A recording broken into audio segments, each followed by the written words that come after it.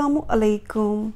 Today I'm going to show you a very easy and basic recipe of soya chunks and tomato curry or nutri and ruwangan.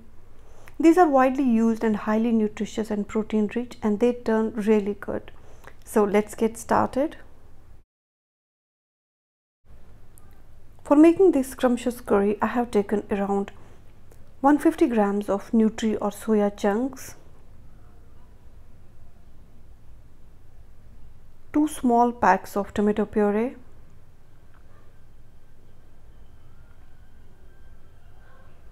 That will be around 400 grams. 1 teaspoon of dry ginger powder. 1 teaspoon of fennel seed powder. 2 teaspoons of salt.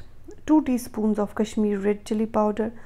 2 black cardamoms cumin seeds. Cloves 3 4 green cardamoms 1 teaspoon of coriander powder 1 tablespoon of kasuri methi or dry fenugreek leaves. This enhances the taste it gives a very good flavor. And 1 teaspoon of ginger garlic paste. And oil I have taken around 4 tablespoons because for cooking soya chunks we need good amount of oil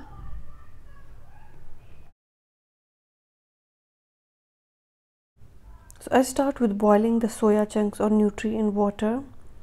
You can follow the instructions on the package, whatever it's however it's mentioned, you can follow that. So we have to boil them on high flame for around 5 minutes till they become soft.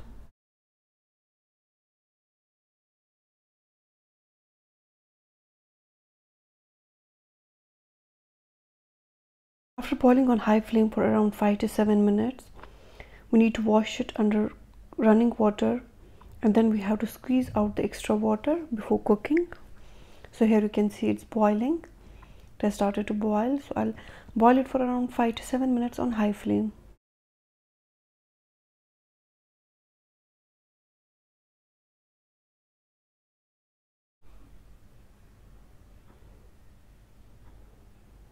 So now it has been boiling. So at this stage I'll turn off the flame when it has been boiling for around 5 minutes. I'll turn up the flame. I'll wash it under running water and then I'll squeeze out the extra water and then cook it.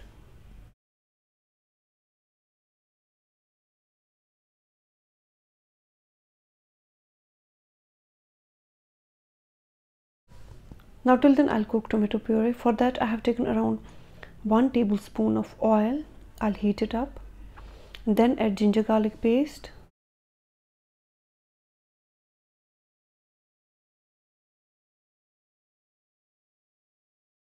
Once it's sauteed properly then I'll be adding cumin seeds, black cardamom, green cardamom and cloves. And I'll saute it properly. And then I'll be adding tomato puree to it. I'll give it a mix.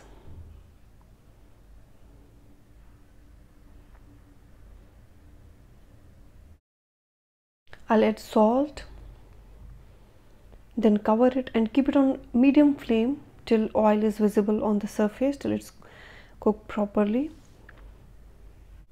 So after 15 minutes on low flame here you can see now I'll be adding other spices that include chili powder dry ginger powder dry coriander powder and kasuri methi or fenugreek leaves.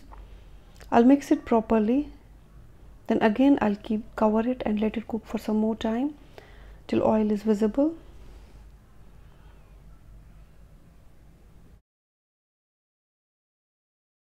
We'll keep checking in between so that it doesn't get stuck to the bottom of the pan. So here you can see after around 5 to 7 minutes again it's ready now. So I'll turn off the flame.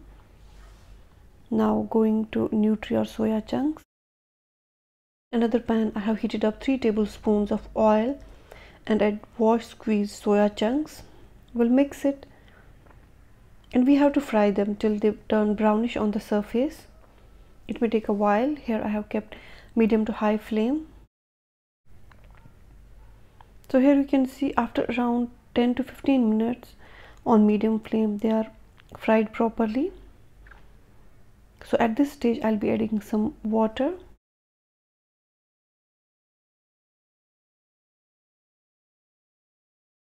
I'll add a glass of water and then I'm adding some spices that include green cardamom, black cardamom and cinnamon stick. And we will let it boil and then we'll be adding tomato cooked tomato puree to it. So here you can see it has been boiling. So at this stage I'll be adding cooked tomato puree to it. And then I will let it cook for around 20 minutes on low flame till the soya chunks get the taste of tomatoes chilies and salt you can adjust according to your taste here also you can check the salt and adjust according to your taste and for around 20 minutes I'll keep it on low to medium flame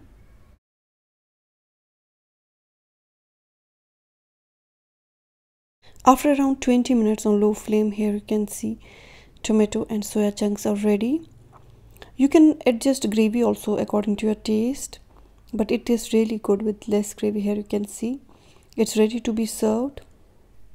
It can be served with rice or roti.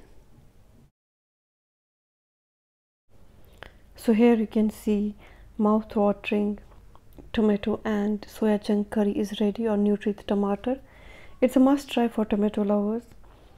Give this recipe a try and let me know in comments how it turns. Thank you for watching. Have a good day.